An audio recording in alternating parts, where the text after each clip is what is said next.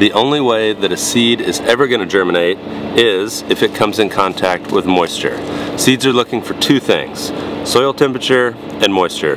Cool season seeds tend to want cooler soil. Warm season seeds, especially peppers, want warmer soil. So for the purpose of this video, I'm not going to talk about soil temperature as much, but it is something that you're going to have to consider. But I do want to talk a lot about moisture. Coming out of the bag, potting soil or soilless mix has very little moisture and it's a little hydrophobic.